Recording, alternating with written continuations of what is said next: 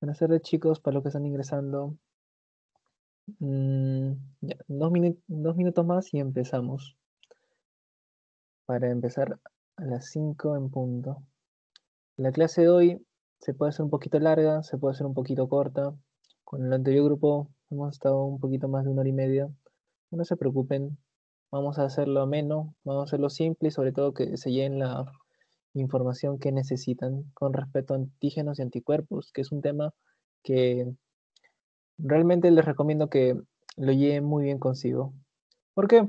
Porque ahorita, o les comento, la inmunología es una ciencia de la medicina que no ha tenido mucho estudio, no ha sido muy, eh, desde que se descubrió, como les conté con la vacuna, desde ahí solo ha tenido dos momentos importantes donde realmente se estudió a la inmunología como tal.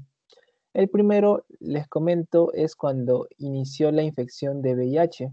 ¿Qué pasó? En esta década de los 90, del 2000, este, vieron que este virus te eliminaba el sistema inmune. Entonces empezó así, gracias a esta enfermedad, esta pandemia, empezar a investigar y reconocer cómo es que funciona nuestro sistema inmune.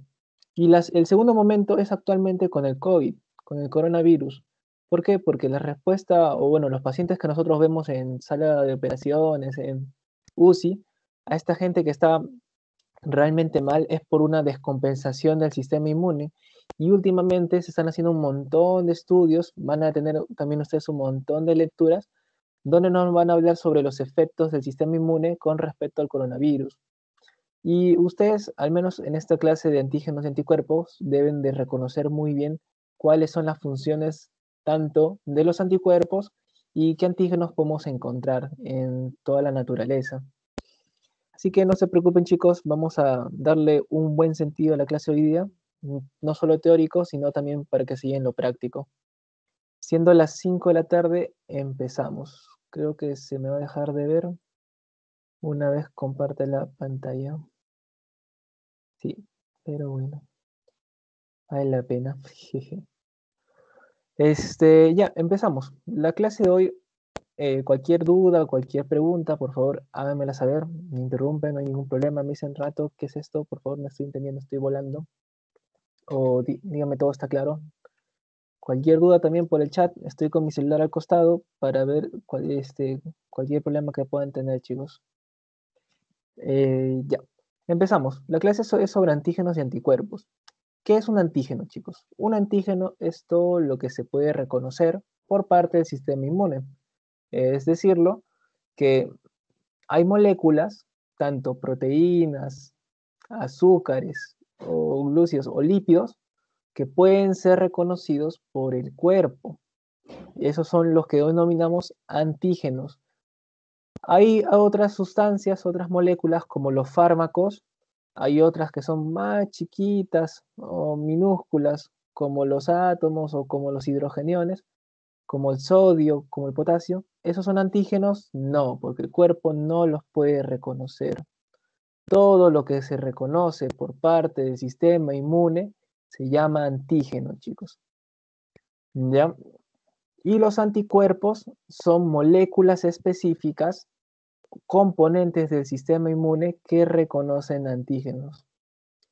Sobre todo fundamental que cada célula, cada bacteria, cada microorganismo tiene antígenos que son capaces de reconocerse. Vamos a verlo mucho después, o bueno, vamos a hablar en profundidad sobre esto, así que eh, con los temas conceptuales, no se lo queden chicos, vamos a entenderlo más por lo práctico. Entonces, hablamos de que los antígenos son capaces o son estructuras moleculares que pueden ser reconocidas por el sistema inmune. Acá tenemos una proteína, este fideito, que va a tener sus segmentos que van a estar conformados por aminoácidos. ¿Se acuerdan que en el ribosoma se escriben de tres en tres los cordones para formarnos un aminoácido cada uno? Ya. Cada proteína va a estar formada por un segmento que es un aminoácido. Por ejemplo, les digo un ejemplo práctico, que los antígenos van a ser estas bolitas chiquitas, un pedacito de la proteína ABC. Esto va a ser un antígeno. Y algo que vemos en las bacterias, por ejemplo, estas bacterias de acá que están con anticuerpo, es que en toda su membrana los antígenos van a ser muy similares. Es decir, que los aminoácidos o los azúcares o la grasa que va a estar en su membrana de esta bacteria va a ser todo el rato ABC, ABC. Ya chicos, los antígenos de membrana son muy igualitos, muy similares. Es por eso que van a haber este, antígenos que ataquen la membrana, van a haber antígenos que ataquen el núcleo de estas bacterias, o van a haber antígenos que ataquen a la cola de estas bacterias, al pili, que lo van a conocer muy bien en microbiología. Por ende, los antígenos lo que nos permiten es reconocer, este, bueno, los antígenos son moléculas capaces de ser reconocidas por el sistema inmune. Ya chicos, busquen siempre lo más pequeño, o sea, lo más pequeño posible que es, el antígeno, perdón, busquen lo más pequeño y que sea capaz de ser reconocido. Eso es el antígeno. También, ¿qué más reconoce el sistema inmune? Reconoce PAMS y DAMS. Los PAMS son patrones moleculares asociados a peligro o a patógenos, diré. Patrones moleculares asociados a patógenos, ¿ya chicos? Estas van a ser moléculas, por ejemplo, citocinas, que nos indiquen que una célula, que vemos acá, este es un neutrófilo, les presento el neutrófilo, está infectada por un patógeno llamado Neisseria gonorrhoeae. Este señor o esta señora ha sido traviesa, no se ha cuidado, y sus neutrófilos van a estar infectados por este microorganismo Neisseria gonorrhoeae, y lo que hace es la típica escena de Lilo y Stitch. Este es Stitch y le dice, no Lilo, soy peligroso. Ya, eso mismo le dice. Este neutrófilo, al saber que está infectado por estos microorganismos, lo que hace es liberar PAMs. PAMs, estos patrones moleculares asociados a patógenos, ¿para qué? Para que las células que están a su costado le avisen que, o bueno, sepan que este está contagiado y tenemos que tener cuidado con él, alejarnos lo suficiente para no contagiarnos las demás. ¿Ya chicos? Eso es lo que hacen las PAMs. Por su parte, las DAMs, los patrones moleculares asociados a daños, ¿cuándo se van a liberar? Por ejemplo, en caso de cáncer. Acá tenemos una célula neoplásica, que lo que está pasando acá es que hay, en estos casos, se liberan un montón de proteínas, un montón de aminoácidos que normalmente no estaban ahí. La célula cancerígena lo que busca es crecer, entonces vamos a producir más aminoácidos, más proteínas para crecer un montón. Y el cuerpo se da cuenta de esto. El núcleo dice, no, algo está pasando, creo que me he bloqueado y me estoy convirtiendo en célula cancerígena. Entonces vamos a liberar estos patrones moleculares asociados a daño. Por ejemplo, cuando eh, ustedes conocen la proteína P53, que es una proteína encargada de vigilar el genoma humano.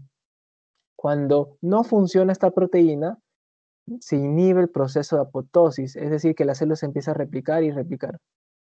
Entonces, ¿qué pasaría si esta proteína nuclear la encontramos, en vez de dentro de la célula en el núcleo, la encontramos afuera, perdida, paseándose fuera de la célula? Eso ya es peligroso porque nos indica que esta proteína eh, primero ha tenido que salir el núcleo o se ha roto el núcleo y después se ha roto la membrana celular. Nos indica sí o sí que hubo un daño este, a nivel celular y por ende se va a liberar esta proteína como un DAM.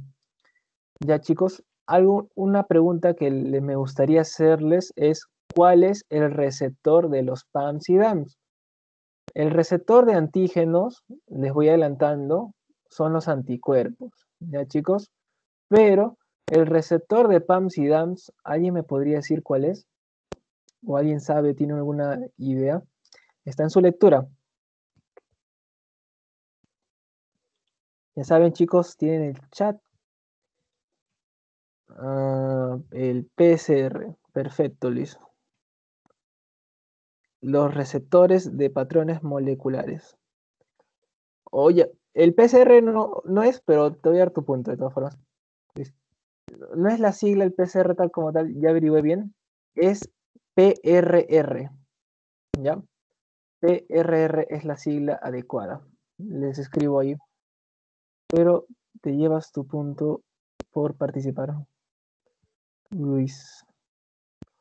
Entonces, les comento, el PRR, y se los voy escribiendo, es el receptor, receptor de patrones moleculares.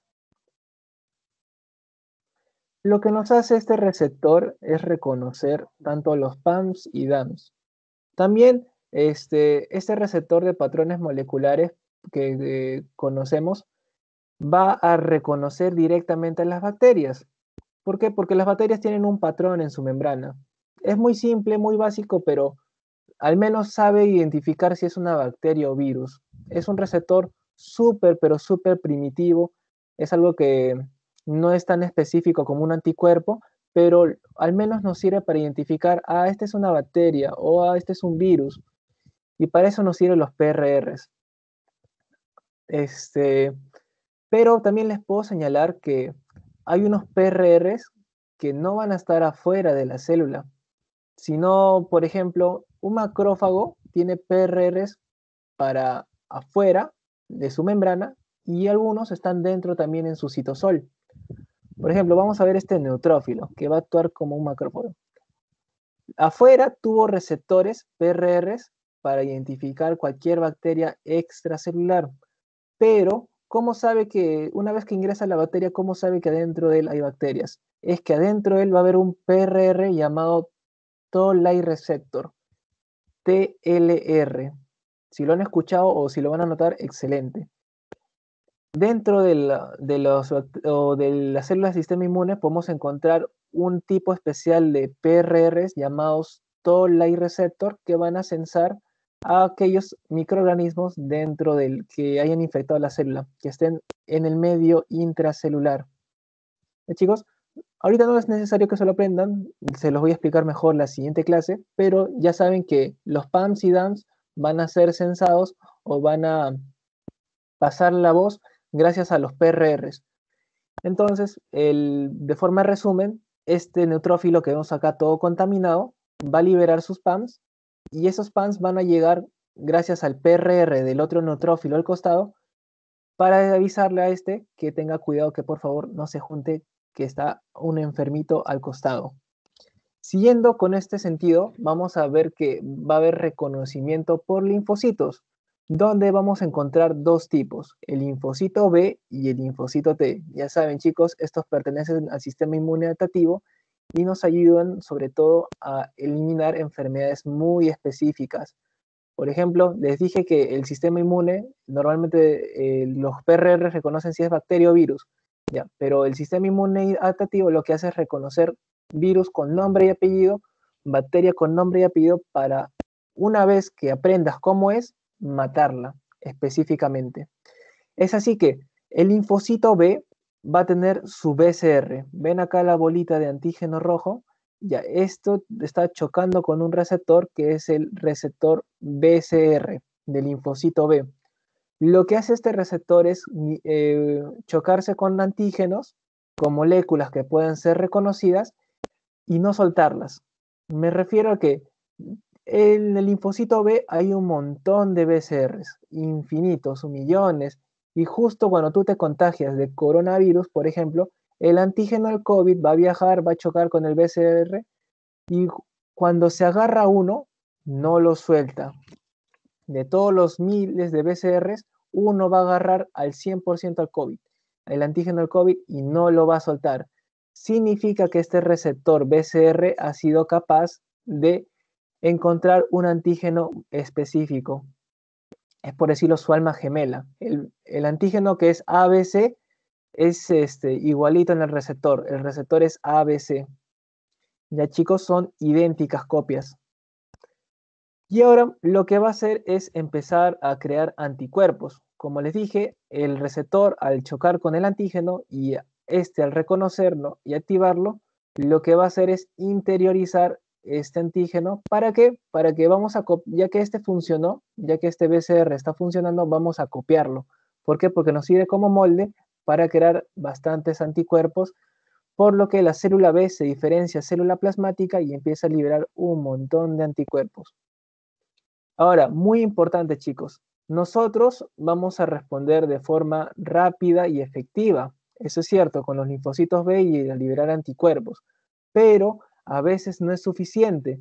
Por ende, el linfocito B, a través de un complejo mayor de histocompatibilidad, ven esto acá, que el linfocito B, que normalmente chocó con el antígeno, ahora lo que está haciendo es presentar el antígeno a su mejor amigo, que es el linfocito T, a través del complejo mayor de histocompatibilidad, chicos. Esto acá, la presentación de antígenos se da por el complejo mayor de histocompatibilidad o MHC. Muy importante y si pueden anótenlo. El linfocito B o cualquier célula presentadora de antígenos utiliza el MHC para presentar estos antígenos al linfocito T. Ya chicos, y este receptor del linfocito T se llama TCR. ¿Por qué no lo puede presentar directamente? ¿Por qué el antígeno no choca directamente y activa el linfocito T? No, chicos, en la inmunología el linfocito T es el gran ciego. Este no puede ver y solo puede saber si hay un patógeno mediante el MHC del linfocito B, de la célula dendrítica, del macrófago, del neutrófilo. Todo lo que coma antígenos, toda célula que fagocite, que reciba antígenos, va a presentar en MHC al linfocito T. Y una vez que el linfocito T puede ver, ha abierto los ojos, le han presentado el antígeno, lo que va a hacer es potenciar el efecto de los linfocitos B a liberar interleucinas. ¿Se acuerdan las interleucinas de respuesta humoral IL4, IL5 y L15? Entonces, este linfocito de helper va a empezar a liberar estas interleucinas.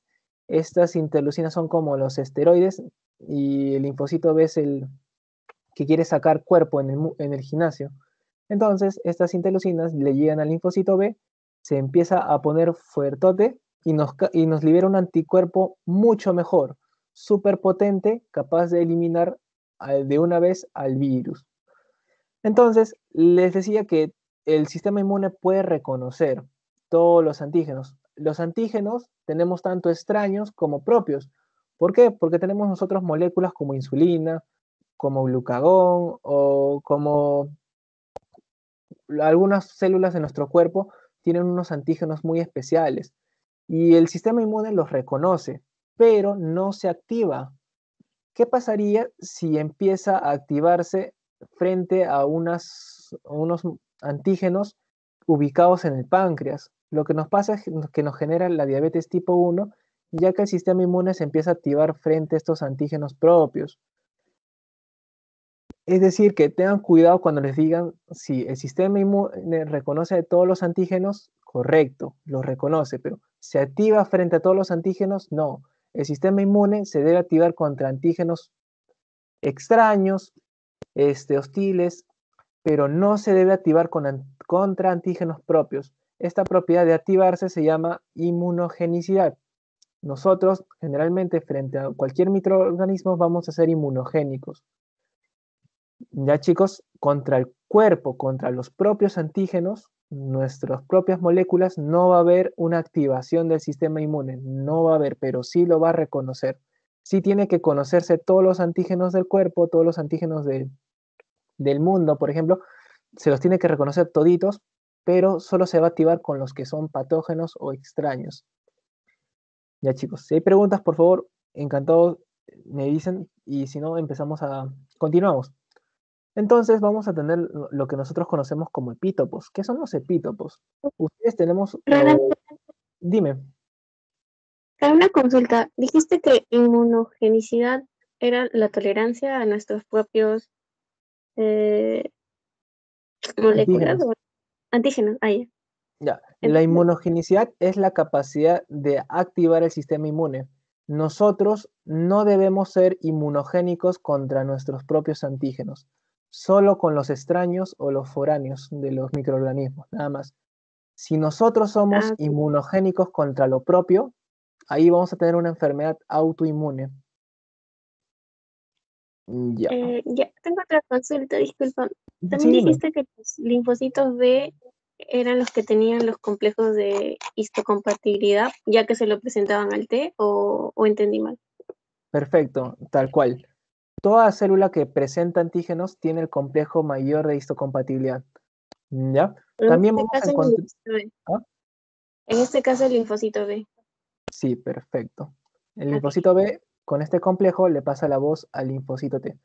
Este, chicos, les recomiendo también que no solo el linfocito B, sino la principal célula que presenta antígenos, por favor ahí subrayenlo, es el, la célula dendrítica, la estrellita que les comenté en la anterior clase. Esa es la célula que tiene más complejos de histocompatibilidad. Acá solo vemos uno, pero en realidad el linfocito lo tiene en toda su membrana, así como un puerco espín con sus púas, lo tiene en toda su membrana. Pero sobre todo, la que presenta más antígenos son las células dendríticas. Ya, chicos. Este, seguimos con los epítopos. ¿Qué son los epítopos? O bueno, los epítopos es un sinónimo, es por decirlo casi similar a decir antígenos. Ya chicos, los epítopos son antígenos que se pueden reconocer ¿Dónde vamos a encontrar, por ejemplo, esta proteína con forma de gusano? Va a tener un epítope lineal. Ya chicos, justo estos tres puntitos se pueden reconocer por el anticuerpo y esto es un epítope lineal. Pero ¿qué pasa si enrollamos ahora la proteína? La volteamos y la ponemos en esta forma de M. Vamos a ver que justo las puntitas se empiezan a juntar y el anticuerpo se pone sobre estas puntitas y ahora te reconoce, o sea, él lo lee así, lee las puntitas y ya no lo lee en forma lineal como lo estaba leyendo antes. Lee las puntitas juntas como si fuera este, una línea junta. Esto se llama epítope conformacional, que justo se han puesto o se han alineado los aminoácidos para ponerse o crear este epítope conformacional. Ahora, ¿Qué pasa? O acá sí tengan cuidado cuando les pregunten en su pasito si le agregamos fuego, si le agregamos ácido a estos epítopes. De lo que era una M, se va a convertir ahora en un fideo estirado. Así como esta proteína que vimos antes, se va a estirar así, ya no se va a enrollar como normalmente son las proteínas. Entonces, en procesos de desnaturalización proteica, lo que vamos a hacer es que los epítopes que estaban conformacionales se conviertan en epítopes lineales. Algo extra que les puedo mencionar acá es que ven este, esta M, ¿no? Entonces acá en el medio de la M vamos a encontrar unos epítopes que están escondidos. Estos epítopes se llaman epítopes crípticos. Estos epítopes en procesos de desnaturalización recién van a ser visibles para el sistema inmune, pero antes, cuando la proteína está enrollada, están escondidos. Ya. Muy bien, entonces seguimos este, con los superantígenos. ¿Qué son los superantígenos, chicos? Es un término que tienen que tener cuidado. ¿Por qué? Les voy a contar que, por ejemplo, cuando ustedes tengan un paciente que tenga infección por estreptococo o estafilococo, estas bacterias lo que van a generar es unas toxinas. ¿Estas toxinas son antígenos? No, chicos. Estas toxinas son muy chiquitas y no son capaces de ser reconocidas. Entonces lo que van a buscar es, proteínas carrier o transportadoras, también llamados aptenos. ¿Ya chicos? este, estas toxinas son muy chiquitas y necesitan de una proteína transportadora, de un apteno, para poder recién ser vistas como antígenos. Entonces tengo la combinación de mi toxina estreptocócica más mi apteno y ya tengo mi superantígeno. ¿Por qué se llama superantígeno? Una vez que es visible por el sistema inmune, esa es la única excepción, la única excepción donde el linfocito T no necesita MHC. Este superantígeno se va a unir directamente al TCR y lo va a activar, produciendo que el linfocito T empiece a liberar un montón de interleucina. ¿Por qué es lo peligroso? Esto, por ejemplo, no solo pasa con estas bacterias, sino pasa con la picadura de abeja, que es lo que va a generar que nos activen un montón de linfocitos T y nos empecemos a hinchar, la sangre se empieza a escapar de las arterias, te empieza a reventar el corazón por la cantidad increíble de interleucinas que hay, se llama fiebre citocinas y esto te puede matar. Ese es el problema de los superantígenos. Es lo malo de activar al linfocito B así bruscamente, violentamente, sin la presentación de MHC. Es por eso que es un proceso que no se controla y no se regula y ustedes deben de reconocer que los superantígenos son así de peligrosos. Otra cosa que les puedo decir es que como este, el paracetamol, por ejemplo, es una molécula chiquitita y, los, y no, es no es un antígeno porque no puede ser reconocido pero ¿qué pasa si le agregamos un apteno o una proteína carrier? Ahí recién se puede reconocer el paracetamol y entonces empiezas a generar anticuerpos contra el paracetamol. Así que por favor chicos tengan mucho cuidado porque las proteínas carrier y los aptenos lo que hacen es hacer visibles aquellas moléculas que antes no eran visibles, convertir en antígeno lo que no es o lo que no era. ¿Ya chicos? Sobre todo, súper cuidado con los antígenos, perdón, con los superantígenos. Sí. ¿Puedes repetir lo del estreptococo y el carrier? Fue estreptococo, ¿verdad? No sé qué bacteria dijiste. Sí, sí, el estreptococo y el estafilococo, cualquiera de estas dos ah, te va a liberar la toxina. La toxina chiquitita como el paracetamol, una molécula chiquitita, no es un antígeno, pero cuando se une con el ateno, con el carrier, recién va a poder ser reconocido. ¿Y quién lo reconoce? El TCR. El TCR, al reconocer esto, es la única excepción, la única excepción donde no necesita MHC para poder ser activado. Y como hay un montón de estas combinaciones de eh, la toxina con el ateno, vamos a activar a todos los linfocitos T. Si todos los linfocitos T se activan, el cuerpo no reacciona bien. Se nos puede morir el paciente, porque no es lo normal, chicos. Lo normal es que un MHC active el TCR, pero si lo hace un superantígeno, preocúpense, por favor. Lo que tenemos que hacer es apagar a los linfocitos T. Ya, chicos. Seguimos con lo que es el BCR. O más, vamos a hacer un poco más. Sí, sí, sí. Cuando dices eh, superantígeno, es la toxina más el carrier, ¿verdad? Así es. La toxina no es antígeno, pero justo cuando le agregamos el carrier, ahí recién puede ser un antígeno. Y se denomina superantígeno. Ahí estoy. Gracias. Sí, chicos, normal, pregúntenme. No hay ningún problema. Esto sí, el superantígeno les puede ser una pregunta así trampa y mejor que lo sepan ahorita. Este, continuando con el BCR, eh, como ven acá tenemos a nuestro linfocito B. Les dije que es como un puerco, espín que está en toda su membrana. Y uno de ellos es el que va a chapar, el que se va a unir al antígeno del virus, de la bacteria que está acá todo molesta. Uno de ellos va a ser el afortunado que pueda reconocer al patógeno, al antígeno. Entonces vamos a estudiar su estructura. El BCR, si se dan cuenta, es como un anticuerpo. Pero ¿cuál es la diferencia? La diferencia va a estar en llevar el mensaje. ¿Cómo así? Primero vamos a ver cómo es eh, la estructura del BCR. Tiene dos cadenas, una pesada, dos, perdón, cuatro cadenas, dos pesadas y dos ligeras. ¿Ven estas moradas acá? Estas son las cadenas pesadas, estas moradas. Y estos bracitos extra que tiene son las dos cadenas ligeras, lo de verde y plomo. Ya chicos, en esto se parece mucho el BCR al anticuerpo, pero ¿cuál es la diferencia? Que esta va a estar en la membrana linfocito B y además va a tener moléculas de transducción de señal. Estas moléculas se llaman Ig alfa e Ig beta. Ya chicos, lo que diferencia el BCR del anticuerpo son estas moléculas de transducción de señal. Cuando pasa esto, eh, que el BCR reconoce al antígeno, quienes van a pasar la información al núcleo de la célula son estas moléculas Ig alfa e Ig beta. Si no hubieran estas moléculas, simplemente sería un anticuerpo. Entonces, estas le pasan la voz al núcleo de la célula. ¿Para qué? Para que el anticuerpo, o bueno, para que el BCR pueda ingresar a la célula y clonamos.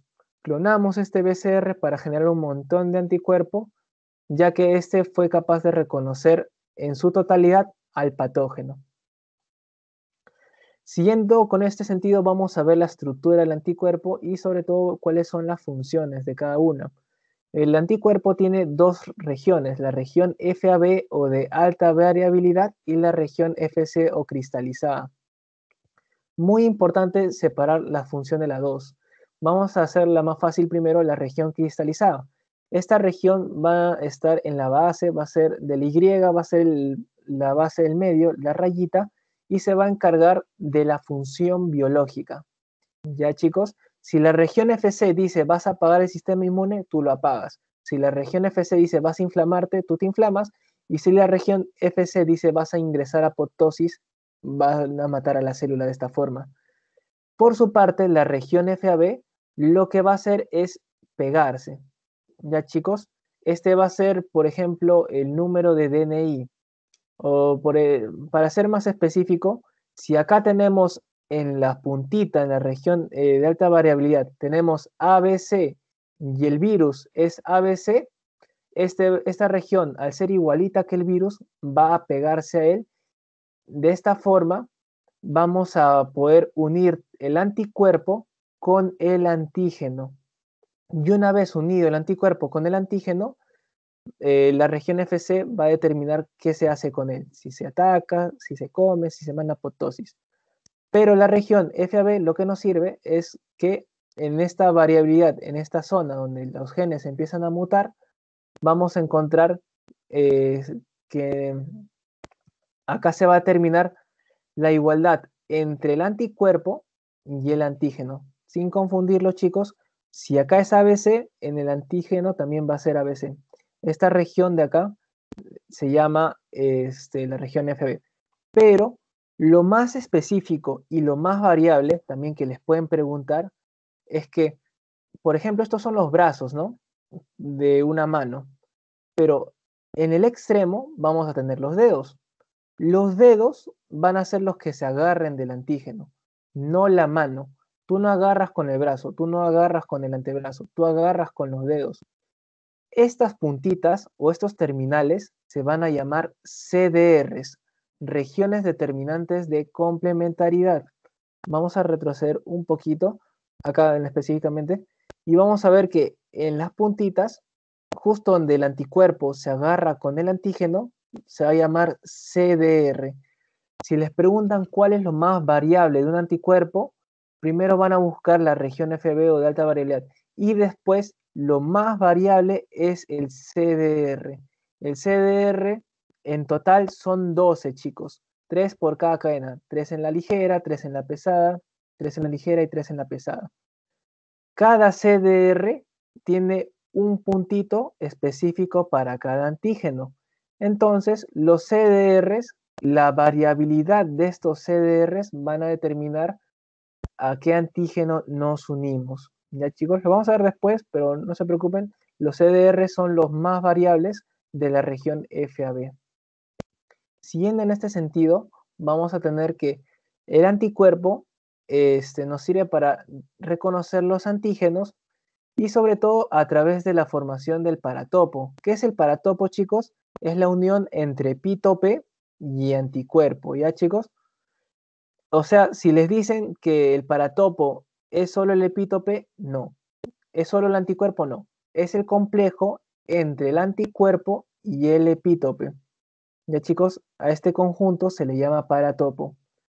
El CDR, como les he comentado, es lo más específico. Del bracito son los deditos los cuales enganchan profundamente al antígeno. Son las regiones determinantes de complementariedad. Por último, tenemos que la respuesta de los anticuerpos van a ser policlonales. ¿Cómo así? ¿Ven este virus todo feo? Sí, tenemos que es de color verde y tiene unas cajitas medio, medio marrón, medio naranja. Entonces lo que va a hacer el cuerpo es crear anticuerpo contra lo verde y contra las cajitas naranjas. Por eso se llama respuesta policlonal, porque es capaz de crear anticuerpos contra todos los antígenos que nos presente este virus o todos los epítopes del virus. Ya chicos, cuando se refieren a policlonal significa que hay un montón de anticuerpos contra un solo virus, porque él tiene un montón de moléculas en su membrana. Y al crear un montón de anticuerpos, nos preguntamos nosotros, ¿toda esa información de toda la cantidad posible de anticuerpos va a estar en el ADN? En realidad ocuparía un montón de espacio. La célula tendría que ser 10 veces más grande para recibir tanta información en su ADN. ¿Cómo hace posible la ciencia para, o bueno, las células para este, tener tanta información comprimida en el ADN. Muy simple, chicos, lo vamos a ver con un ejemplo didáctico ahorita. Lo hace a través del proceso de recombinación genética. Recombinación, este, tomen la palabra como tal, es decir, que vamos a elegir entre varias opciones del ADN, vamos a combinarlas para expresar un nuevo anticuerpo o, BCR, cualquiera de los dos. Cuando ustedes van a tomar su jugo, ¿qué es lo que pasa, chicos? Cuando ustedes van a tomar su jugo, es cierto que van a ver que les dan un catálogo de frutas y ustedes eligen qué frutas quieren o qué están antojados hoy día. También les dan un catálogo si quieren con agua, si quieren con, con leche o si quieren con yogur, no sé. Ustedes eligen. Lo mismo pasa en el cuerpo. Para que toda esa información de todos los antígenos estén dentro del ADN, lo que hacemos es seleccionar todas nuestras, bueno, todos los posibles segmentos o combinaciones. Para que no se pierdan, eh, por ejemplo, ustedes van a ver en la repisa de la juguería fresa, lúcuma, papaya, plátano. Ustedes no van a ver fresa más lúcuma, fresa más papaya, fresa más plátano. Si hicieran eso no le alcanzaría espacio en la repisa. Entonces mejor les presento los posibles o las opciones para que ustedes elijan. Lo mismo hace el cuerpo. Vamos a tener tres segmentos, el segmento V, el segmento D y el segmento J, de los cuales hay V1, V2, V3, V4, V5, V6 hasta el infinito, lo mismo con D y lo mismo con J. Lo que hace el cuerpo es elegir, por ejemplo, hoy tengo ganas de V3, de D1 y de J5. Entonces, elige los segmentos específicos mm, y se forma su juguito así de esta forma. ¿Y quién se va a encargar de elegirlo? La enzima RAG, chicos. La enzima RAG es el encargado de elegir estos segmentos. Él se va a poner, va a ver el cartel de V, ah, hoy día quiero un 3. Va a ver el cartel de D, hoy día quiero un 2. Y va a ver el cartel de J y hoy día quiero un 1. Eso es lo que hace la enzima RAG. Elegir los segmentos al azar de, estas secciones B, D y J. Estamos acá por, en el ADN, chicos, por si acaso. ¿Ya? ¿Y cómo lo unimos todo? ¿Cómo unimos estos segmentos? Una vez que ya elegí las frutas para mi jugo, ¿cómo las uno? Con la enzima TDT. La enzima TDT lo que hace es, eh, esto ya que esto es ADN, la enzima TDT le pone nucleótidos o ácidos nucleicos, los pone en el medio. ¿Para qué? Para que ese ADN se pueda unir y así podemos formar nuestro ARN mensajero. Ya chicos, lo que hace RAG es elegir los segmentos, los pedacitos, y lo que hace TDT es unirlos. ¿Para qué? Para que nosotros tengamos nuestro ARN mensajero y podamos a partir de este crear nuestro anticuerpo todo bonito. Algo que les puedo señalar es que la enzima RAG va a estar en la cadena tanto pesada como ligera, pero la enzima TDT solo va a estar en la pesada, nunca va a estar en la ligera. ¿ya chicos? Por eso la ligera es chiquitita. ¿Por qué? Porque no tiene enzima TDT, le ha costado mucho pegarse. También el segmento V, D y J va a estar presente en la cadena pesada. El segmento D no está en la ligera. Es decir, la ligera solo tiene V y J. Ya chicos, es subrayado el segmento D, ya que solo va a estar en la pesada, más no en la ligera. La ligera solo tiene V y J. Pobrecita la ligera, lo que deben de recordarse es que no tiene ni TDT ni tiene segmento D. Solo puede elegir entre V y J y nada más solo puede elegir porque ya ni los puede pegar, ya que no tiene encima TDT. Muy bien, si tienen preguntas, por favor chicos, importante. Si no, seguimos con la parte más clínica, más aplicativa de lo que es el sistema de anticuerpos. Eso es lo más bonito, de verdad. Acá sí, presten atención, les va a gustar un montón. Vamos a tener cinco tipos de anticuerpos. Primero vamos a ver lo más... Sí. ¿Esos segmentos están en el ADN o dónde? Sí. Este es nuestro ADN. Y justo hay una sección específica para crear los anticuerpos, donde vamos a encontrar la parte V, la parte D y la parte J. Lo que hacen estas enzimas es que van a estar en las histonas, en el ADN, eligiendo estos segmentos. ¿Para qué? Para convertirlo en ARN mensajero. El ARN mensajero se va a ir fuera del núcleo, va a salir del ADN para buscar un ribosoma y el ribosoma, ya saben chicos, permite crear proteínas. A través de esas proteínas vamos a ensamblar nuestros anticuerpos y estar todos listos. Ya chicos, todo esto está en el ADN. Y si escribiéramos todas las combinaciones posibles, ocuparía un montón de espacio. Por eso mejor el ADN lo que hace es dejar las opciones y que las enzimas, a través de la recombinación genética, elijan los segmentos. Muy bien, entonces seguimos con los tipos de anticuerpos y acá les voy a decir primero los que son un poco más escondiditos o que son muy específicos, que serían la inmunoglobulina A, E y D. Ustedes tienen que saber que la inmunoglobulina A son dos anticuerpos pegaditos, un, dímero, un duplex, pueden decirle como deseen, Pero esta inmunoglobulina A, lo que deben de reconocer sí o sí es que va a estar en las mucosas. ¿En qué mucosas? Mucosa gástrica y mucosa alveolar bronquial. Ya chicos, la inmunoglobulina va a estar en las mucosas. Ustedes cuando vayan a comer su chaufa de tres soles en la tía veneno, lo que les salva de que no les dé una infección y que no se deshidraten después porque les va a caer mal, es la inmunoglobulina A. Esta va a estar en tu mucosa gástrica protegiéndose de todos esos agentes tóxicos, de ese aceite todo cochino, de cualquier bacteria que no, no lo hayan lavado. De eso se va a encargar de protegerte la inmunoglobulina A. Y por ejemplo, si te da COVID a ti, la inmunoglobulina te va a proteger a nivel de la mucosa bronquial. ¿Para qué? Para que te encuentres bien y matar a los, al virus que se encuentre a ese nivel. Ya chicos, si un paciente eh, con tuberculosis te empieza a botar este, bastante esputo, vamos a encontrar, aparte de sangre, por el pulmón, vamos que tiene un montón de inmunoglobulina A en su flema, en su moco. Siguiendo en este sentido, vamos a pasar a la inmunoglobulina E. Esta ya es solo una, pero el hecho de que sea una sola no significa que no sea peligrosa.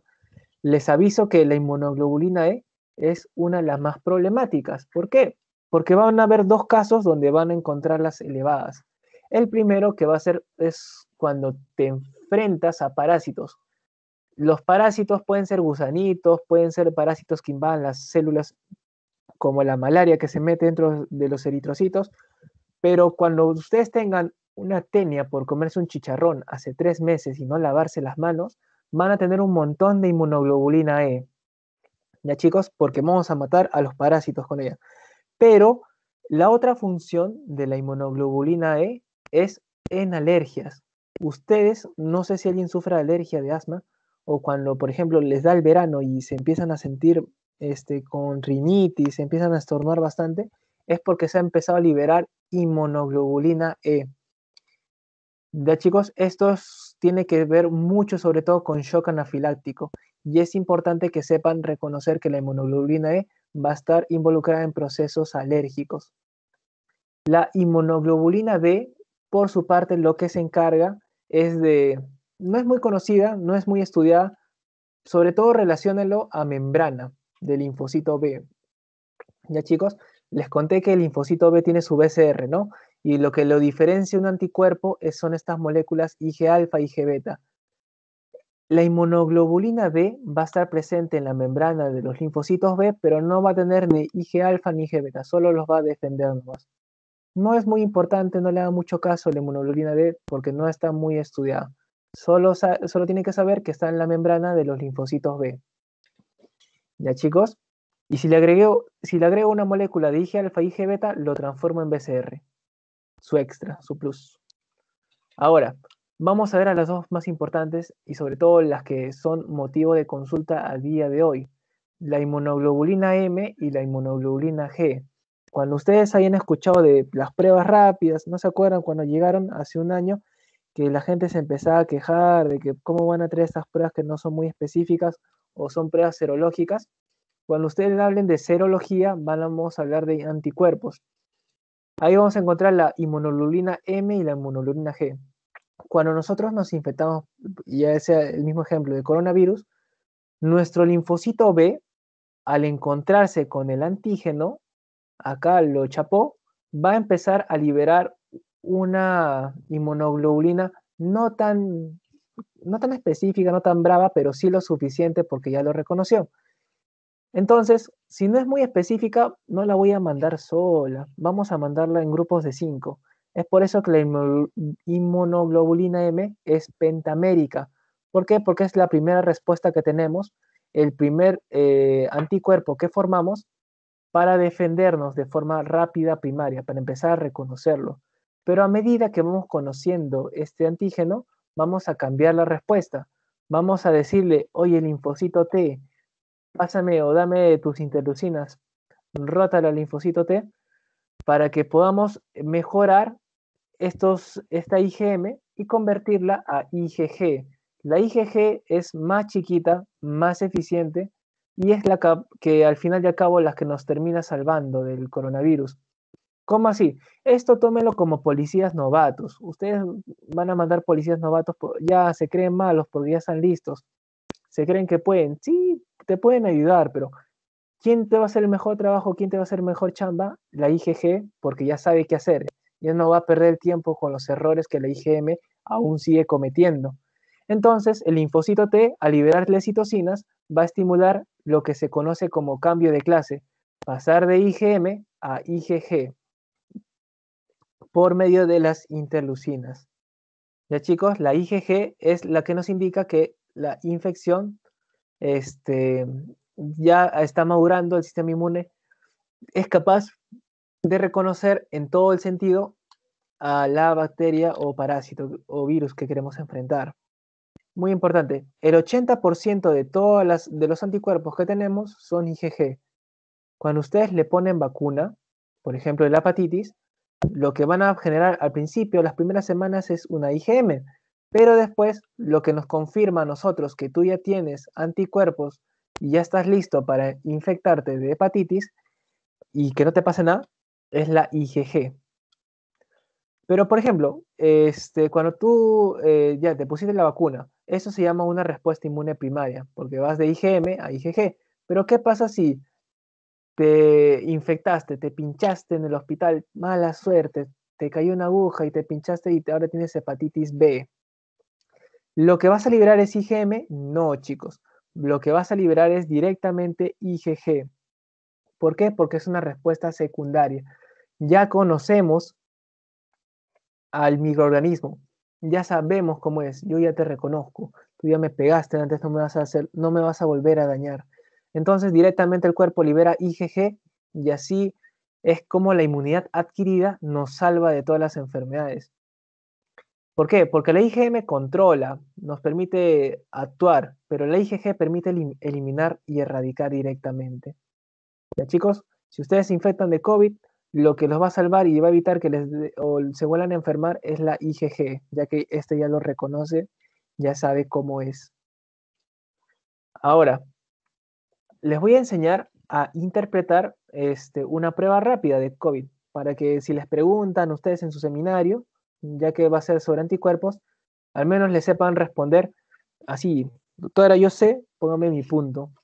¿Cómo es? si recién me infecto, ya saben, voy a empezar a producir una respuesta pobre, voy a mandar a los reclutas a que hagan su labor. Vamos a liberar IgM.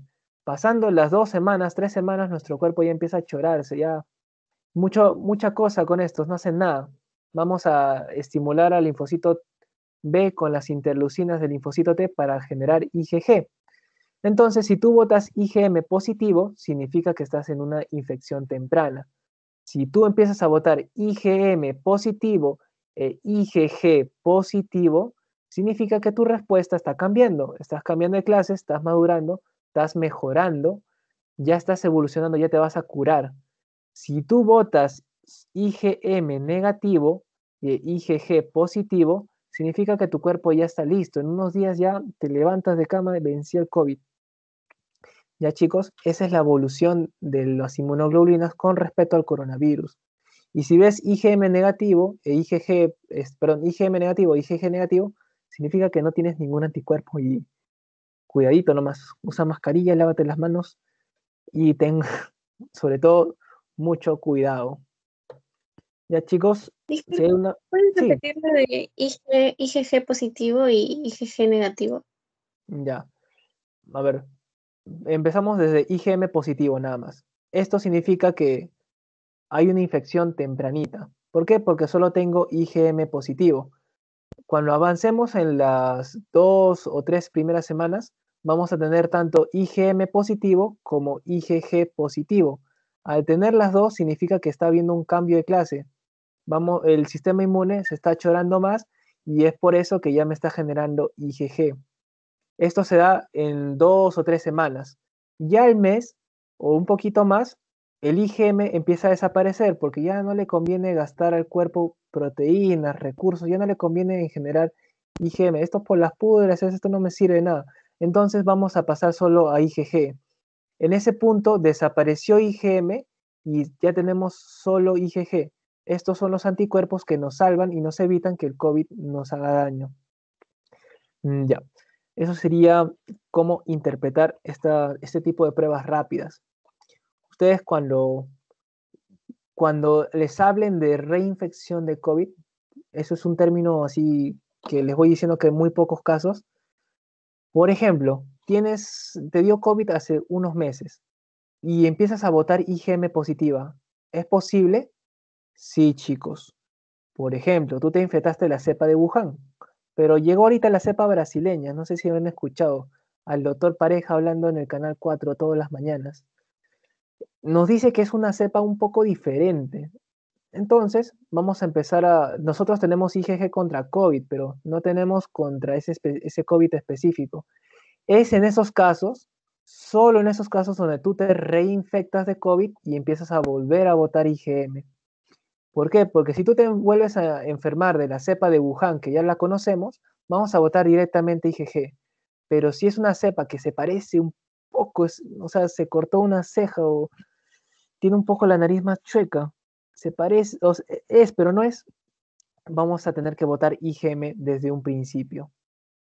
Eso se llama reinfección y es muy poco probable, muy, o sea, muy pocos casos los que se ve. Ahora vamos a tener una pregunta motivacional. No se preocupen chicos si no la saben, si no la sacan, pero me encantaría porque el anterior grupo la sacó y yo sé que ustedes pueden, ya que les he dado más tips sobre lo que es el cambio de clase. ¿Qué te dice? Tema antígenos y anticuerpos. Uf, esto te soluciona un montón de cosas sobre el tema antígenos y anticuerpos. Dije ya, ¿dónde, ¿en qué recuerdo tengo que buscar para saber la respuesta?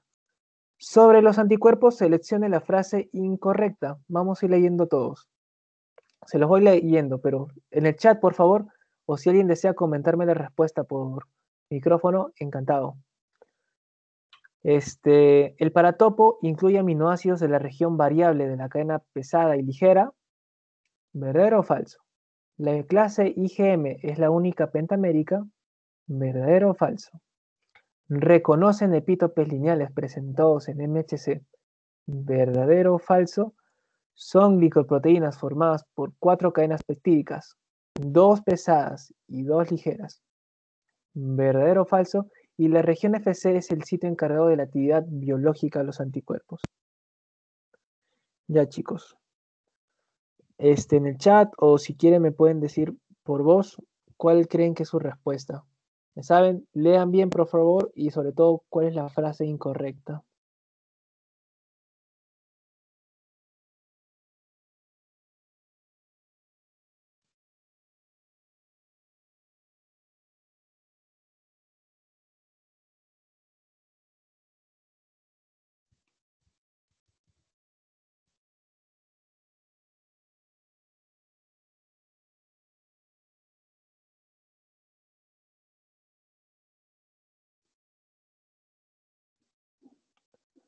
A ver, chicos, o si no, pregunto. ¿ah? Este. Si no, les pregunto. A ver, la C. Luis Antonio. Luis nos dice que es la C. A ver, ¿qué más podemos ver? Este, ya, adelantándote y sobre todo dándote tu punto, Luis. Muy buena participación. ¿Te animarías, si te doy otro punto, a decirme por qué es la C? Por el chat o por vos. Pero la respuesta como tal, mientras la vas escribiendo, la vas pensando, vamos a descartar por qué no son las, las otras. ¿La región FC es el sitio encargado de la actividad biológica de los anticuerpos? Sí, chicos, la región FC es la que nos dice qué tenemos que hacer con lo que reconoce la región FAB. ¿Son glicoproteínas formadas por cuatro cadenas pesadas, perdón, por dos pesadas y dos ligeras? Sí, chicos, eso es correcto. Los anticuerpos son. A ver. ¿La clase de la IgM es la única pentamérica? Sí, chicos, esto es correcto. La IgM es la única pentamérica y la IgA es la única dimérica. ¿El paratopo incluye aminoácidos de la región variable de las cadenas pesada y ligera? Sí, chicos, el paratopo incluye los aminoácidos del anticuerpo y también del epítope, por favor, no se olviden. Y por último, ¿por qué la C? ¿Reconocen epítopes lineales presentados en MHC? Sí, los linfocitos T, como dice bien Liz, van a ser este, reconocidos por MHC. Los anticuerpos no necesitan MHC, ellos reconocen directamente el antígeno. Y como respondiste, Luis, te doy otro punto. Entonces, seguimos. Este, acá tenemos su lectura muy bonita, verdad. Vamos a aprender mucho sobre terapéutica con los anticuerpos y la lectura es sobre todo un punto clave. Entonces, chicos, vamos a ver que la lectura nos empieza mencionando que es un anticuerpo. Un anticuerpo, como ya saben, tiene su región FAB, la que reconoce, y la región FC, la que tiene la función.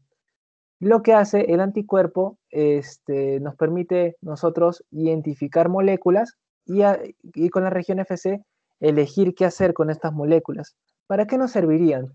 Pónganse ustedes el plan si tienen un paciente con cáncer. A veces nosotros con anticuerpos que vamos creando mediante la ingeniería, podemos elegir moléculas específicas de estas células cancerígenas y pegarles una región FC que permitan que el sistema inmune pueda matarlas.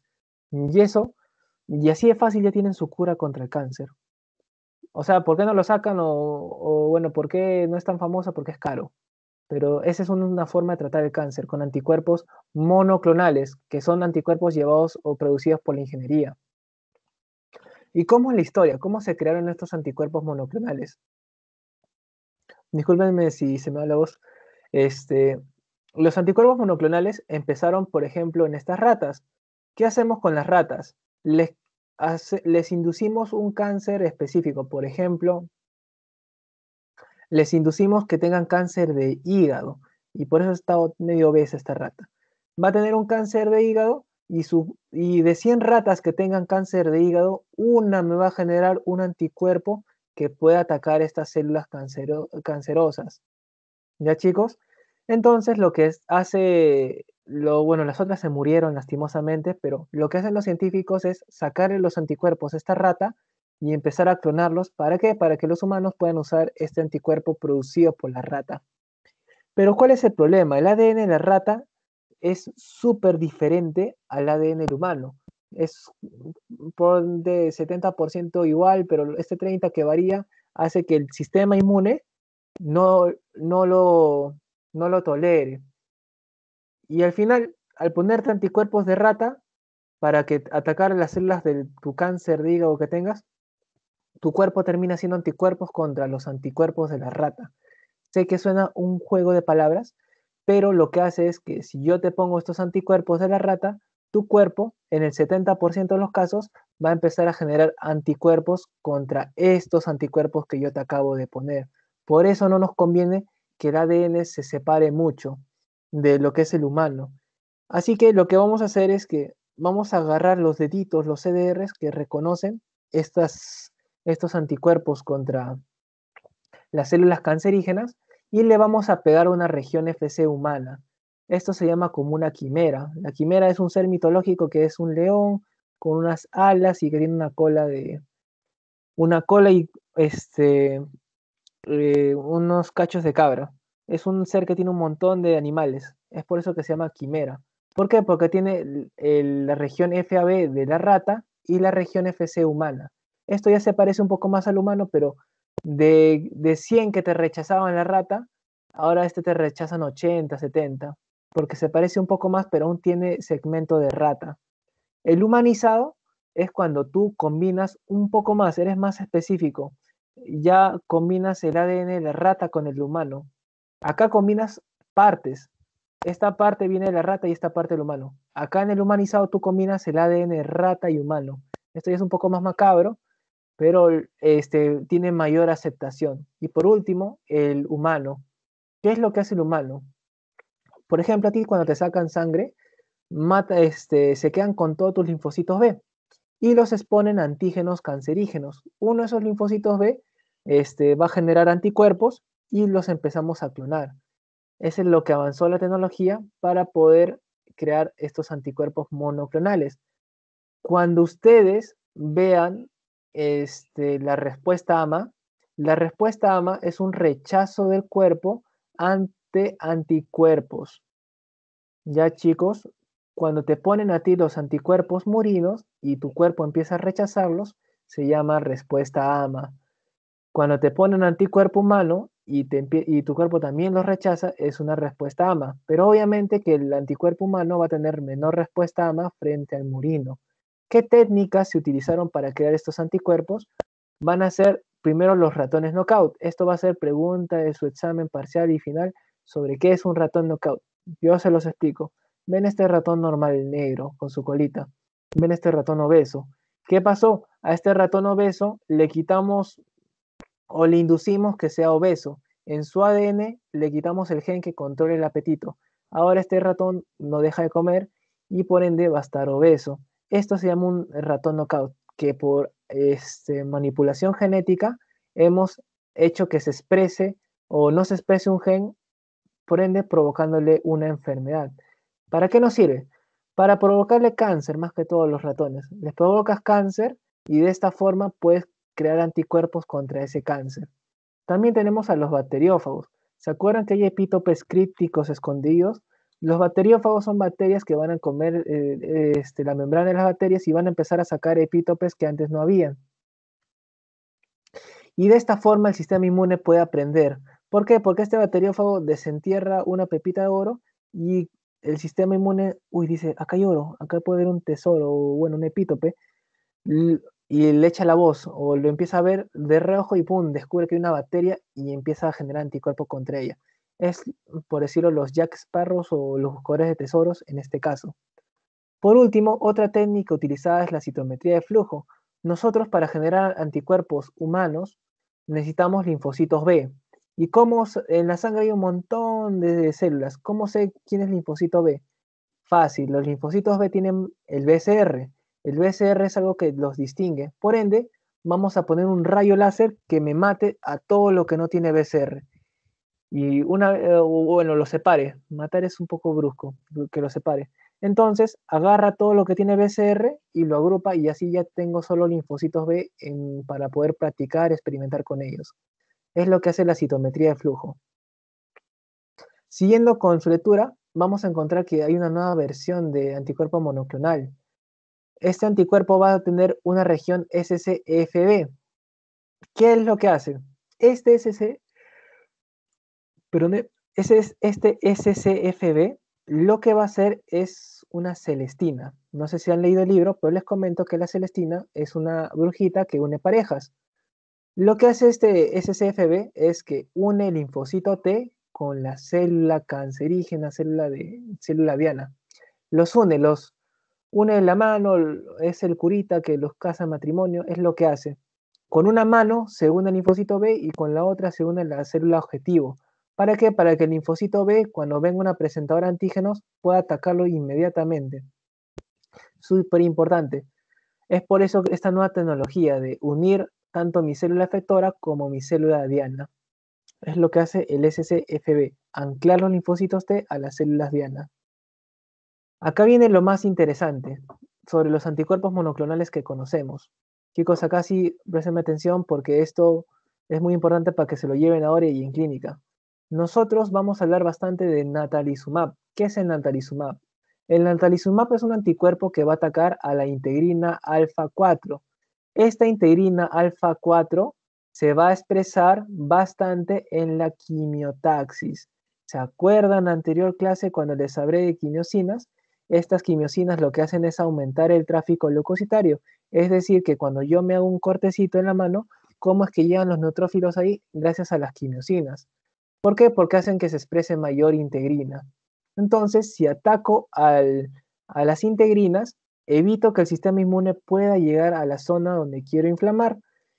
Y es la utilidad del natalizumab, evitar que el sistema inmune pueda llegar por medio de las integrinas. Pero ¿de qué me sirve esto? Ustedes, algunos tendrán abuelitos sanos, otros lo tendrán enfermos. Les comento que hay una enfermedad llamada artritis reumatoide, reumatoide ustedes ya la conocerán, algunos no, este, donde lo que se nos inflama son las articulaciones, chicos. Al inflamarse las articulaciones, lo que pasa es que el sistema inmune se llena, va a tus deditos y se, justo ahí en donde estás mm, doblando tus dedos. A ver, voy a poner la cámara para puedan ver. Justo acá, en, en los deditos, en el medio acá están las articulaciones donde yo puedo hablar. Ahí a la gente que tiene artritis reumatoide se le empieza a inflamar. ¿Por qué? Porque el sistema inmune ha viajado desde la sangre y se ha depositado acá. Una vez depositado el sistema inmune ahí dentro, uff, se hincha horrible y lo empieza a inflamar. Para eso nos sirve el natalizumab, para evitar que el sistema inmune pueda viajar a estas zonas e inflamarlos. Es por eso que es un tratamiento para este tipo de enfermedades. También este, tenemos el omalizumab. Lo que hace el omalizumab es atacar a la inmunoglobulina E. Así que, ¿en qué pacientes yo usaría omalizumab? ¿Alguien tiene alguna idea? ¿Cuándo a mí me interesa atacar o bajar los niveles de inmunoglobulina E? En alergias. Perfecto. ¿Quién lo comentó para ponerle su punto? Eh, Catherine Eche. Ya, perfecto, Catherine. En alergias, nosotros utilizamos el omalizumab para bajar los niveles de eh, inmunoglobulina E y así reducir las alergias. Cuando ustedes tengan un paciente con shock anafiláctico y si tiene plata, porque esto es caro, la verdad, le dan omalizumab ¿no? de frente y así lo sacan en una y evitan peligro. Pero ahora les voy a decir un, otra más importante. Este es este, el top 3, natalizumab o malizumab. Y el otro más importante es el ipilimumab. Ya saben, todo lo que termine en map es anticuerpo monoclonal. ¿De qué me sirve el imilipumab? Ya sé que suena un poco raro, pero me ataca CTLA4. Se los presento, chicos, algunos no lo conocen, otros sí, pero el CTLA4 lo que se encarga es de a inducir apoptosis en los linfocitos T. ¿Qué significa esto? esta molécula CTLA4, cuando se expresa, nos va a matar nuestras defensas. ¿Dónde lo vemos? En el VIH. En el VIH, este virus lo que hace es expresar un montón de CTLA4 y así por eso nos inmunodeprimimos.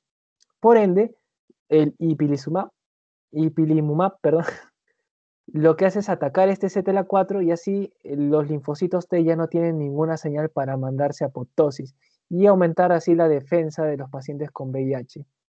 Ya chicos, CTLA4 lo que hace es inducir apoptosis en estos pacientes con VIH. Seguimos con el cáncer. El último tópico importante de su lectura es respecto al cáncer. ¿Qué se ve acá? Que el cáncer va a tener tres, tres momentos o tres formas de atacarlo con anticuerpos monoclonales. Primero, una acción directa por parte del anticuerpo contra las células tumorales mediante la unión de marcadores específicos. Les presento acá, esta célula va a tener unos marcadores o va a empezar a eh, producir algunas proteínas que me digan que haya esto es cáncer porque esta proteína no hay normalmente y solo se expresa cuando hay cáncer de mama, cuando hay cáncer de próstata, etc. Entonces lo que vamos a hacer es buscar anticuerpos que reconozcan estos marcadores que están específicos en las células del tumor y así el sistema inmune pueda verlos, pueda ser reconocido, porque, uy, dice, un anticuerpo se ha pegado a una célula, vamos a chequear, vamos a ver qué es. Uy, es cáncer, uy, ya fuiste, ya fuiste causita, ya te vi con el anticuerpo, ahora sí te puedo matar. Lo segundo, efectos sobre la vasculatura y el estroma del tumor. Ven acá esta célula que tiene un montón de raíces. Esta célula cancerígena lo que hace es crear un montón de vasos nuevos, nuevas arterias, nuevas venas, porque necesita nutrirse para crecer. Por ende, los anticuerpos monoclonales lo que hacen es destruir esta vasculatura y estroma del tumor, para reducir así el crecimiento y el avance del cáncer. Por último, inducir la muerte de células tumorales por mecanismos inmunes. ¿Cómo así? les dije que la región FC puede atraer el sistema inmune, puede apagarlo, pero hay una función de la región FC que lo que hace es inducir apoptosis en las células. Así como el CTLA4 induce apoptosis en los linfocitos, lo que hace algunos, unas regiones FC de anticuerpos es inducir apoptosis en las células tumorales y de esta forma poder matarlas al fin. Eh, eso es todo con su lectura. Si hay alguna duda, pregunta, por favor, chicos, me la hacen saber ahorita, después, cuando la lean. Yo sé que mañana tienen su paso. Les va a ir muy bien. Es una lectura muy bonita. Ya saben, me tienen a mí toda la semana para explicarles. No hay ningún problema. Y les quería comentar que ahorita seguimos con el Kahoot. El anterior ciclo tuve un éxito de 31% de todas las preguntas. El anterior turno también tuvo un poco difícil, pero si me han entendido bien, yo sé que les va a ir de lo mejor. así que chicos, empezamos con el Kahoot. Este, si hubiera alguna pregunta, o si no, también en el mismo Kahoot lo vamos viendo. Ya, les dejo el número, el del ID. 60 38 87 2. Un ratito se los paso al Teams. Ya. 60 38 87 2.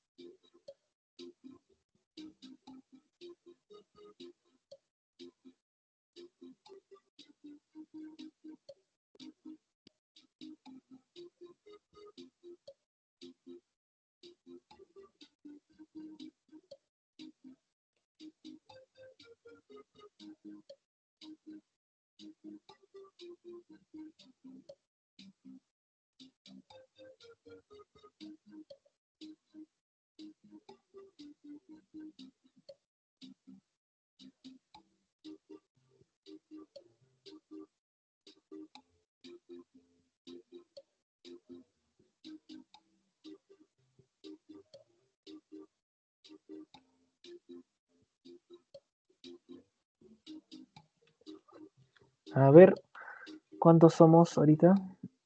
Somos 11. Nos faltan uno más. Uno más, por favor.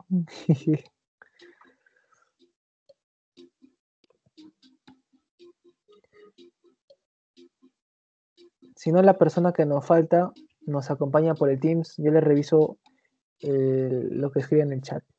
No hay ningún problema. Damos hasta las 6 y 11 para empezar con el Kahoot, chicos.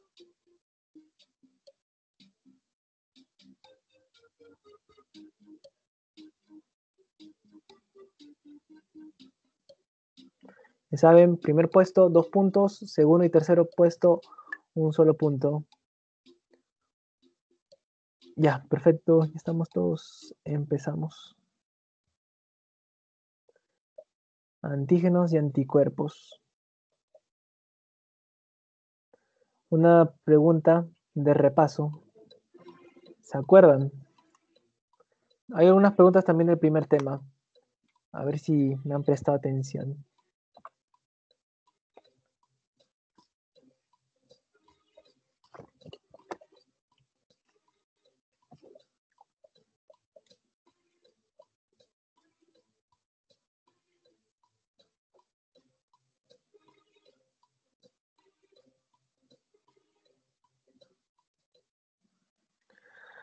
A ver, chicos, por favor, hay que recordar, no se olviden, pregunta de, de cultura general. ¿Cuál es la célula inmune más abundante en la sangre?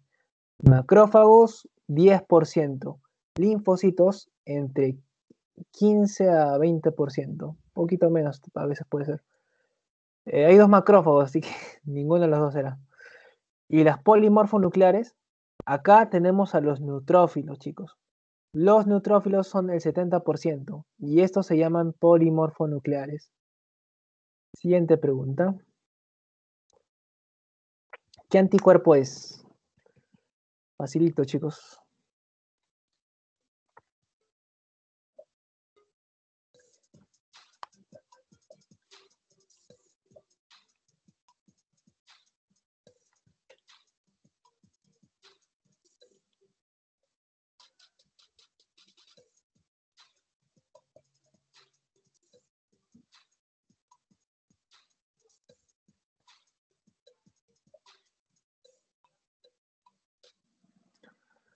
Ya, chicos, a ver, vamos a la imagen. Es una unidad pentamérica. El IgA tiene dos.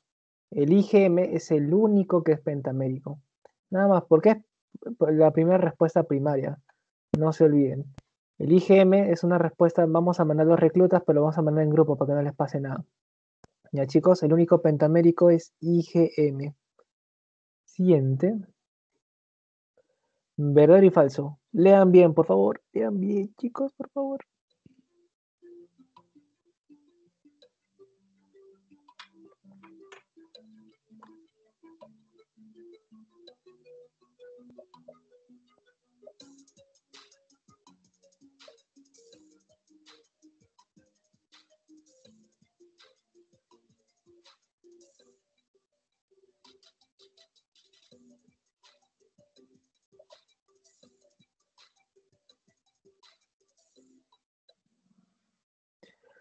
Ya chicos, ¿por qué es falso? La función de las quimiosinas son inflamatorias y homeostática. No es antiinflamatoria. O bueno, la, función antiinflamatoria está dentro de la homostática. Ya chicos, por favor, inflamatoria y homostática. Siguiente. ¿Qué sería el epítope más frecuente en esta imagen? Mucho cuidado. Está enrollada. Así son las proteínas, son como fideitos.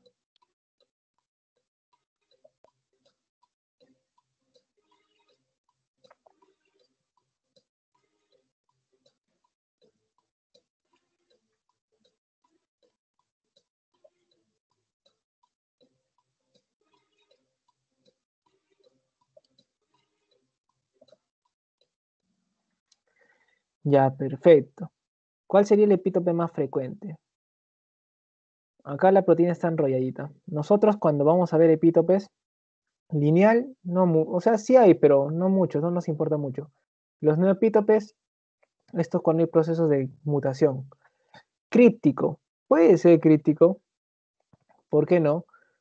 Pero no los vamos a ver, chicos, porque están escondidos. El epítope más frecuente que vamos a encontrar son los conformacionales, porque este, este fideo enrollado va justo los puntitos se van a empezar a unir y van a formar los epítopes conformacionales.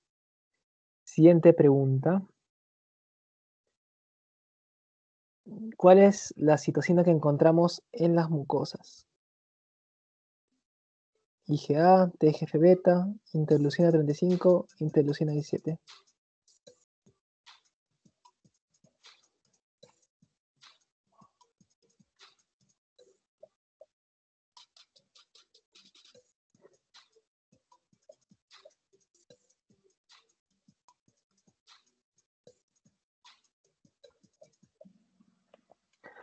Muy bien, chicos, muy bien.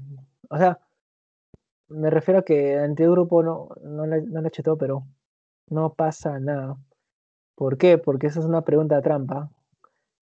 Chicos, por favor, lean bien. ¿Qué citocina se, encuentra en las mucosas? La, la inmunoglobulina o anticuerpo IgA sí se encuentra en las mucosas, pero no es una citocina. El TGF-beta es antiinflamatorio, está en todo el cuerpo. El IL-35 es antiinflamatorio y también lo podemos encontrar en, este, en el cuerpo. Pero sobre todo, IL-17 les comenté en la anterior clase que va a estar involucrada en la mucosa gástrica y que nos va a inflamar, sobre todo cuando nos infectemos de Helicobacter pylori por no lavar bien los alimentos.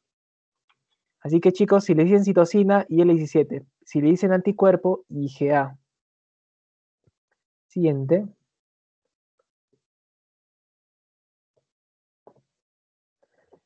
¿Cuál es el gen encargado en la recombinación de segmentos en la cadena ligera? ¿Quién te recombina los segmentos? No te está preguntando quién los pega, sino quién los elige, quién los recombina. ¿Quién decide qué frutas le pongo al jugo?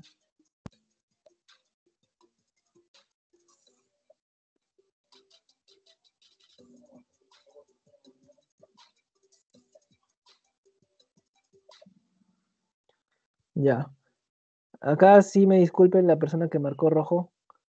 TET no está en la cadena ligera. Acá sí me lo quiere, disculpe. TET no. TET además es el que se encarga de pegar. La respuesta correcta es solo RAG, chicos. Solo RAG. Ya les dije que la cadena ligera no tiene ni TDT ni tiene este, el segmento D. ¿Ya, chicos? Eso es lo único que no tiene la cadena ligera. Así que solo va, la enzima RAG se va a encargar de recombinar los segmentos en esta cadena ligera. RAG y TDT, no chicos, RAG y TDT va a ser en la cadena pesada. Y la verde definitivamente ahí te dice que esta no es. Uy, buena racha. ¿Cuál es la citosina encargada de la expansión clonal?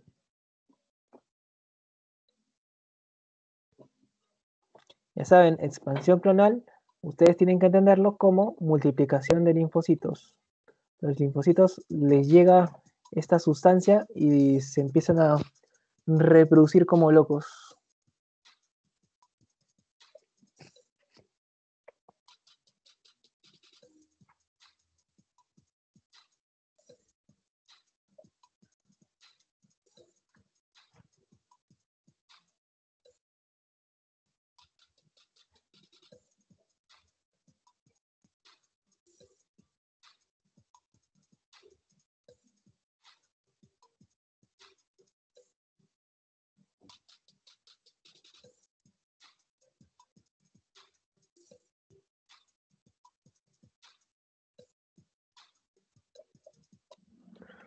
Ya chicos, acá había dos respuestas posibles. Interlucina 10, les recuerdo la imagen de la primera asesoría, la interlucina 10 tapa el sistema inmune. No, no es una citocina encargada de la expansión pulmonar. Factor necrótico tumoral lo que hace es inflamación, nada más. Las dos respuestas válidas es interlucina 2 e interlucina 4. Les recomiendo que lo noten, la interlucina 2 lo que hace es multiplicar los linfocitos T. La interlucina 4 aparte de multiplicarte los linfocitos B, te ayuda con respecto a los anticuerpos para hacer ese cambio de clase. Es por eso que el IL4 nos ayuda en la expansión clonal de linfocitos B y IL2 para linfocitos T. Siguiente. ¿Qué estructura molecular se une linfocito T para activarlo?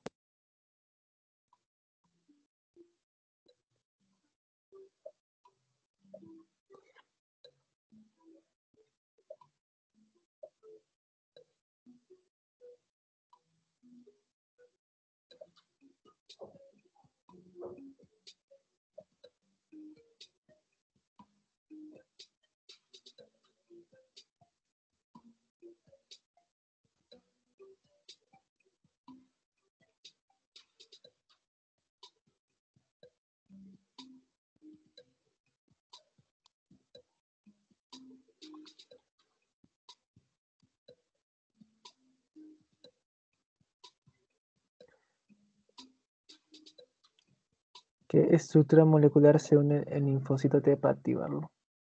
A ver, ¿por qué no es TCR? Porque el TCR está en el linfocito T.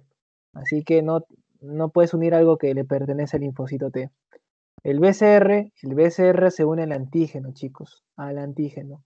El Toll-like receptor está dentro del linfocito T. El linfocito T, o bueno, más que todo está dentro de los macrófagos y no activa el linfocito T porque está dentro de estos macrófagos, dentro de las dendríticas. El MHC es la estructura que los presentadores de antígenos unen al TCR para activar recién al linfocito T. Muy bien, vamos al podio. Uy, 5 de 8. Muy bien, Catherine. Muy bien, Vivian, 6 de 8. Y perfecto, Liz. Te llevas dos puntos, Catherine y Vivian también.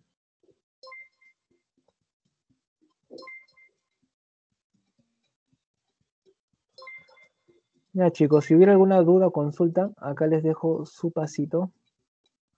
algunas preguntas sí me gustaría explicárselas para que se les quede claro. Pero les paso el link de su pasito.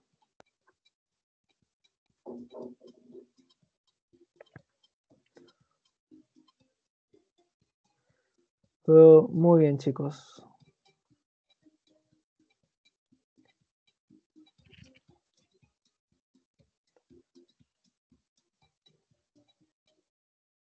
Este, ya. como les decía, les iba a explicar algunas. Por ejemplo, la 1 te habla sobre los superantígenos, así que tengan cuidado nomás con lo que pregunta. La 2, la 2 es preguntas de pasito, ¿ah? así que pónganse creativos, piensen un poco, razonen cómo puede ser ese epítope, qué le, qué le ha pasado al epítope. La 3, la 3 es un casito que normalmente van a encontrar con respecto a parasitosis. La 4, explique brevemente el cambio de clase. Ustedes deciden tres palabras, me ponen de tal cosa pasa tal cosa, me ponen que tal proceso pasa un párrafo. Ustedes son libres, chicos, de escribir. Y la 5, que es la pregunta que les puede hacer problemas, es que, por ejemplo, un paciente vacunado contra hepatitis. Ya, yo te doy un ejemplo. Paciente vacunado contra COVID. ¿Qué anticuerpo me va a votar? Una, IG, una IgG. Así que ustedes me van a poner A, IG tal. En el caso B, IG tal. En el caso C, IG tal. Y en el caso D, IG tal. ¿Ya chicos? Disculpa, ¿puedes explicar la 4 de nuevo? La 4 este, es explica brevemente el cambio de clase. Acá me usan las palabras de cómo han entendido ustedes qué es, eh, qué es lo que significa el cambio de clase. Me pueden poner de, de tal cosa pasa o se convierte a tal cosa. O tales células funcionan para tal cosa. Acá es como ustedes realmente han extendido el cambio de clase. Y esto, esta pregunta a mí me sirve para en futuros repasos, si es que desean, poder dejarlo claro. Es con sus propias palabras, chicos. No hay ningún problema de cómo lo escriban. La cosa es cómo lo ven, cómo lo aprecian. Ah, ya. Y quería mostrarles, ya que les mostré el grupo, y ustedes no van a ser la excepción, este, lo siguiente. Acá tenemos el Jenny, el libro base que ustedes tienen que usar, tienen que leer la Biblia, que la encuentran en el Drive, por si acaso, en versión digital. Está en el Drive del grupo, la encuentran ahí. ¿Qué tiene el Jenny de bueno? ¿Cuáles son las ventajas de leer Jenny Las ventajas, este, les doy hasta las 6 y 28 para terminar pasito. Las ventajas del Jenny es que el doctor toda pregunta, reclamo, va a salir de acá. Ustedes si quieren saber inmunología como unos cracks, quieren ser la doctora Cameron de Doctor House, que ya era inmunóloga, tienen que leer Jenny, güey. Acá está todo y más. ¿Cuál es, el, cuál es lo pro? ¿Cuál es lo contra? Muy grueso, bastante información, a veces te puedes perder. Para eso, no se preocupen chicos, nosotros tenemos este acá, que es el ABAS. El ABAS es un libro este, inmunología para principiantes, por decirlo. No es malo, no para nada, sino es muy rápido, muy fácil de aprender, muy sencillo, muy ameno, te dice lo que necesitas saber. Vamos a tener muchas clases donde las imágenes van a salir de lavas, en su teoría también las imágenes salen de lavas, pero si ustedes alguna vez tienen dudas, este, pueden consultar a Lavas porque de verdad es un libro completo y es muy sencillo de entender. Pero ya si quieren ser unos cracks, lean por favor Jenny Way, que el doctor de, este, encontró este libro para el anterior ciclo y desde ahí se utiliza y es muy bueno.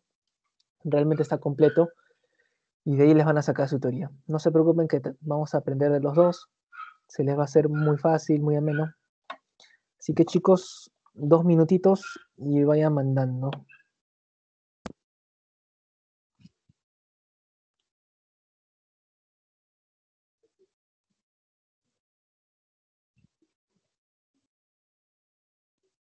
Ah, este, si está más participativo en la siguiente clase, de verdad les agradezco que ahorita estén participativos, pero si nos ponemos más participativos, yo encantado sorteo un, este Jenny lo envío por Olva, lo sorteo obviamente desinfectado, no se preocupen. Y para que lo tengan, aunque sea la mitad de siglo, si es que lo desean, claro. Así que vamos a ver cómo van esas participaciones y yo con gusto les ayudo con ese sorteo. Eh, ya chicos, último minuto.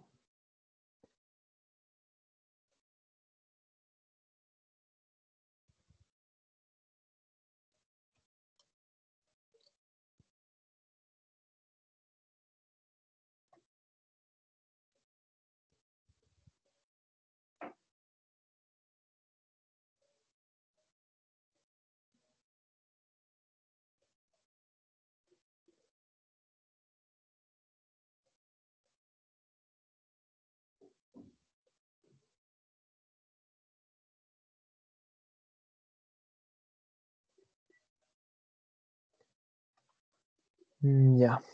Listo, chicos. Pueden ir enviando. Este, voy a compartir pantalla de nuevo. Se corta mi video. No sé por qué se corta. Ya, pasito 2. Por favor, no se olviden su nombre. Muy importante. Hay algunos que no envían nombre. Las toxinas estafilocócicas o estreptocócicas, cualquiera de las dos, pueden causar inflamación, trombocitopenia y una excesiva permeabilidad vascular. Es lo peligroso con esto. Te inflaman las arterias, te reduce los, perdón, te reduce los, eh, las plaquetas y sobre todo hace que tus arterias empiecen a abrir, abrir y abrir. Esto es peligroso porque pierdes un montón de sangre. Esto no, esto no suele ser reconocida por componentes del suero. Los componentes del suero les digo que son los anticuerpos. Es decir, que estas, estas toxinas no son antígenos para los anticuerpos, pero cuando se unen a una proteína carrier como son los atenos, permiten activar ciertas células de estirpe linfoide, Gracias a qué molécula estructura se da esta activación. Chicos, acá la respuesta es TCR. El BCR no, porque no lo reconoce el suero. El MHC, ¿por qué no es? Porque el MHC va a estar en la presentadora antígeno. Pero cuando tú quieres activar a los linfocitos T, vas a buscar el TCR y solo mediante estos superantígenos es que se activan directamente sin necesidad de MHC. IgM, IgG no son células del sistema linfoide, son anticuerpos. Un científico luego someter al calor una proteína se dio cuenta que el anticuerpo específico para ella ya no funciona, ya no aglutina. Por eso dedujo que se produjo antígenos, se produjeron antígenos chicos crípticos o lineales. Cualquiera de las dos respuestas, tanto B como D, son correctas. Los antígenos conformacionales desaparecieron. ¿Por qué? Porque se sometió a calor empezaron a aparecer lineales y sobre todo los crípticos que estaban escondidos. Neoantígenos no, porque no hay mutación, ideal es un, es no le hagan caso. Después, un niño se da cuenta, este, o bueno, se encuentra regresando de viaje al extranjero, cuando repentinamente es llevado a un hospital por un dolor abdominal constante. El doctor a cargo sospecha parasitosis, por lo que en el perfil de anticuerpos debe encontrar un aumento de IgE, cuando tú tengas parásitos por comer tu chicharrón sin lavarte tus manos, vas a tener bastante IgE aumentada. 4. Explica brevemente el cambio que hace. Acá, como les decía, si me ponían que de IgM pasa a IgG, ya tienen sus cuatro puntos, sus cinco puntos de, perdón, cuatro puntos de la respuesta. De IgM a IgG. Si me ponían que el linfocito T este, estimula el linfocito B para que este cambie clase los anticuerpos, también su punto. La cosa es que me hayan entendido que los anticuerpos, eh, al principio es IgM, pero la evolución, el sistema inmune se mejora, se fortalece y ahora tenemos IgG. Ahora, vamos a ver que mm, acá hay muestras de muestras humanas y debemos ver la concentración de anticuerpos en cada una de ellas. En un paciente vacunado contra hepatitis, lo que vamos a tener es que el paciente va a botar IgG. ¿Ya, chicos? IgG. En un paciente recientemente infectado con hepatitis, vamos a tener IgM. En una prueba de esputo, IgA. Y en suero, ya les dije, el 80% de los anticuerpos en suero van a ser IgG. ¿Ya chicos? Eso sería todo con respecto a su paso. Si tienen alguna duda, consulta, pregunta, queja, reclamo, acá me tienen, chicos. Pero sería todo por esta semana. Muchas gracias por acompañarme. Ha sido un gusto. Y les deseo suerte mañana, chicos, con su pasito. Sé que les va a ir bien. Así que bueno. Gracias. gracias a ustedes. Buenas noches, chicos, y duerman bien. Gracias. Chao, chicos. Cuídense. Duerman bien. Gracias. Cualquier pregunta, me estoy quedando acá unos minutos más, si desean. Una pregunta. Dime, dime. Este, ¿quién produce eh, o cómo se producen las células carrier, creo que eran células? Ah, ya, las proteínas carrier. ¿Cómo se producen? Son, este, son proteínas, por ejemplo, la albúmina, La albúmina es una proteína carrier que está en nuestra sangre. Y esa, esa proteína agarra cualquier cosa, fármacos, toxinas, agarra también este, bilirrubina del hígado. Las proteínas carrier las encontramos naturalmente en la sangre y son producidas por cualquier célula, la verdad. No más que como es carrier, como es transportadora, va a tener que esperar o va a buscar una molécula que transportar. Mm,